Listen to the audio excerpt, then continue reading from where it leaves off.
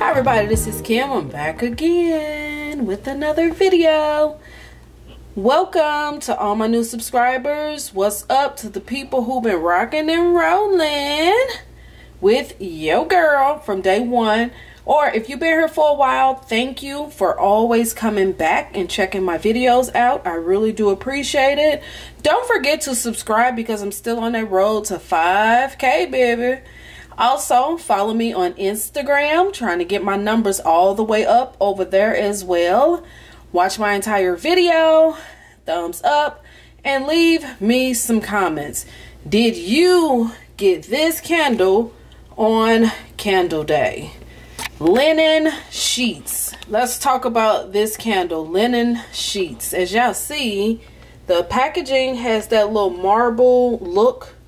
It's a wraparound cream color wax. And I actually just relit this candle. This is probably my third time burning this candle. But as you see, it's a cream colored wax. Three wick candle, of course. I had a little mushrooming, but not much. Just a little bit. Let's get into the review of this candle. The scent notes is fresh ocean air, Anjou pear, violet petals, and warm vanilla. Um, as far as the scent of this candle, most definitely get that violet. Oh my god. It that violet for me is very very strong and it makes this candle more of a floral candle. Um very fresh candle. As far as the vanilla, I don't smell any vanilla in this candle. Like I said, the first note that I smell is the violet. And it could be because I really don't care for violet. But that note is super strong. Super, super strong. So for me, if you don't like floral scented candles, and I personally do like floral scented candles, but I like certain floral candles. This is most definitely a fresh floral scented candle.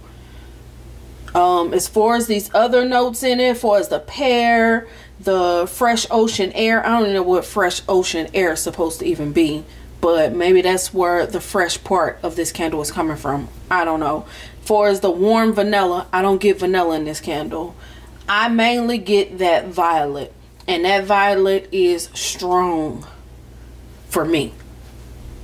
Um, I burnt this candle for a couple of hours because that's all I could take.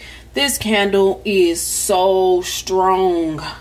it is so strong. Uh, a high eight. No, it's about an eight. The throw on this candle is probably an eight.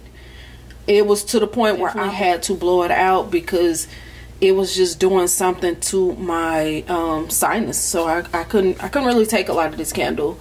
So for me, I would probably only burn this candle for maybe two hours.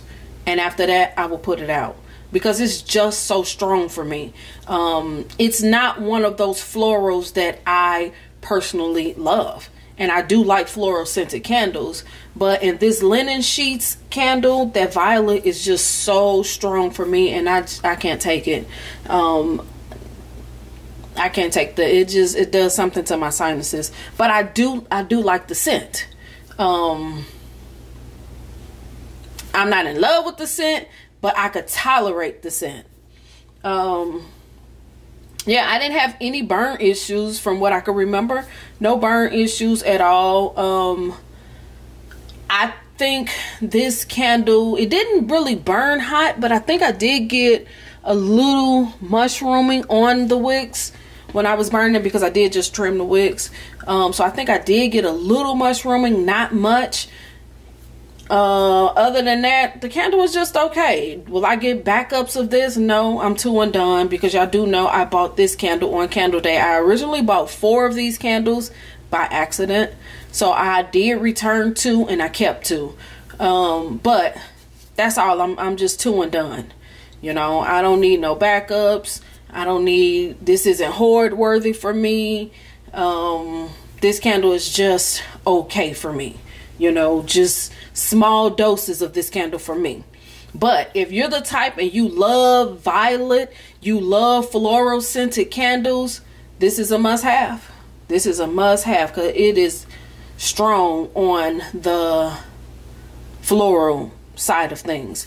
I thought linen sheets would be more of a soft, um, cotton like. That's what I thought this can this candle was going to be, um, but no, it's not. The name does not match the notes, if you ask me.